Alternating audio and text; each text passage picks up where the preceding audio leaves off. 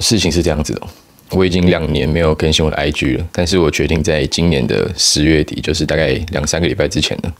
我决定来抛出我暌违两年的第一张。Instagram 的更新，嘿，大家好，我是 Peter。如果你第一次来我这个频道的话呢，这个频道主要是在分享一些跟街头摄影有关的东西。那如果你是第一次看我的影片的话呢，也可以先去我的 Instagram 看一下，稍微往下滑一点，看一下我上一次发文是什么时候。这样子呢，对于接下来我要跟大家分享的这个故事，你可能会比较有想法一点。那为什么我两年多没有分享任何一张照片在 IG 上呢？那这可能要从二零一八年说起哦，因为那个时候呢，我有一次机会，我去到了欧洲那边，然后在那边玩了一个月。然后大家也知道，欧洲的建筑就是，是嗯。很多很漂亮的，就是有现代的，也有很古典的。那我在那边呢，就拍了非常多的照片，然后也回来做了一本自己的摄影书。然后那个时候呢，就慢慢开始觉得说，哎，我喜欢拍的东西很像都是这一种简约的啊，建筑的线条的东西。所以我自从做完那本摄影书之后呢，我每次只要出去拍照，我虽然还是会带着相机，但是变成说我如果看到的东西。可能是像台北街头那种比较杂乱，但是还是很有味道的一些角落的时候，我可能就不会把我的相机拿出来拍，因为我会觉得说，我拍这个照片，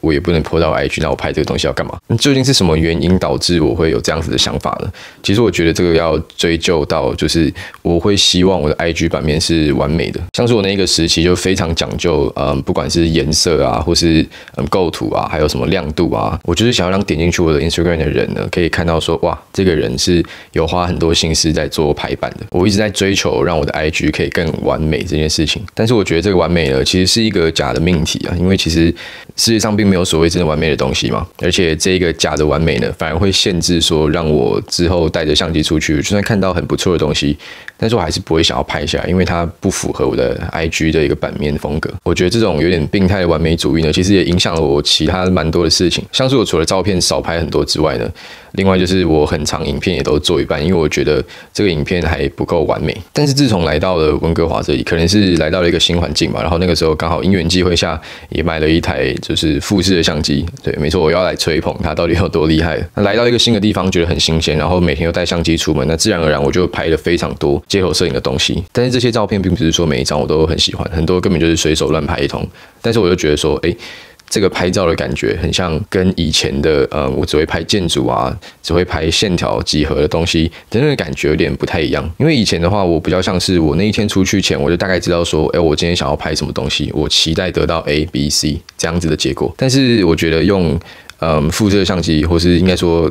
拍街头摄影这件事情的话，你比较像你今天出门，你根本也不知道你会得到 b u r p l e 吗，还是 A、B、C，就是你是一个。完全就是只会接受外在冲击的一个状态。像是我之前拍建筑，我可能就会找好几栋，我觉得哦，嗯，这个建筑还蛮有趣的，我就去那边晃一下。那我觉得这样的拍法当然也没有错。但是现在呢，变成说我把一样的概念扩展到一整个街区。像是我今天要去拍照，那我可能就去走这边的中国城。那这边中国城就是可能七八个 block 这样子，你这样走下来可能要个一两个小时跑不掉。但就变成说你得到的东西是一个很不确定的。那我觉得这也是让我开始思考说，哎，拍。照这件事情对我来说的本质到底是什么？我是只想要在 IG 上面分享照片，然后得到很多的赞吗？还是我希望拍到嗯我自己觉得很喜欢，然后可能它有一点就是时代存在价值的东西呢？除了我上面说的两点之外，我觉得因为我个人不是一个很爱 social 的人，我比较多时间是我喜欢跟我自己就是相处这样子，所以我觉得摄影某种程度上。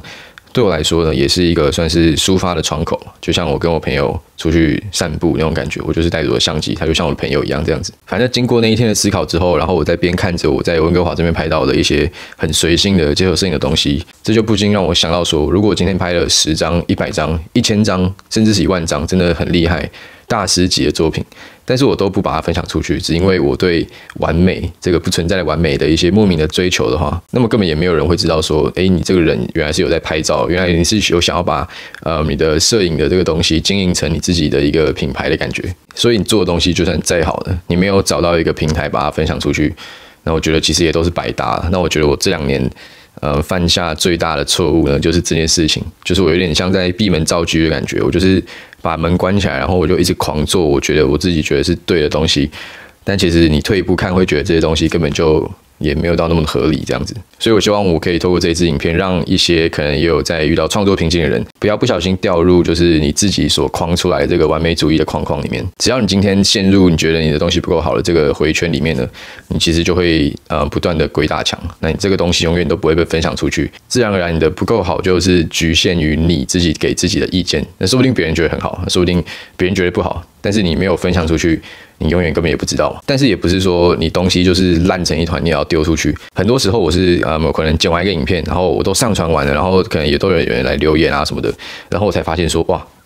我什么东西这边少了一格，然后什么这边东西没做好啊，这边有点粗糙。我刚开始可能会想说，那我把影片拿下来，我重新输出，然后再上一次，那希望这样子就没有人可以看到我犯下的这个错误。但是后来呢，我其实仔细想了一下，应该百分之九十九点九的人在看你的影片的时候，他看到的东西跟你看到的东西根本就不一样。所以我觉得你可以把这一次的东西不完美的部分记下来，那你下一次就不要再犯一样的错误，而不是说因为这个东西不完美，所以你想要花很多时间去把这个不完美给解决，让它变成完美。但是。就像我之前讲的，完美这个东西是不存在的，好不好？那这支影片呢，就是我在这边意识有在那边两消尾啊，嗯，主要就是分享一下我这两年在拍照上的一些心路历程。那希望呢，可以帮助到不管是什么样形式的一个，嗯，不管是画画还是嗯做什么艺术创作，各种写文章干嘛的，我觉得一定都会很常让自己遇到这个问题。好，那这支影片就先到这里了。如果喜欢我内容的话，再帮我按赞并且订阅一下。我是 Peter，我们下次见，拜拜。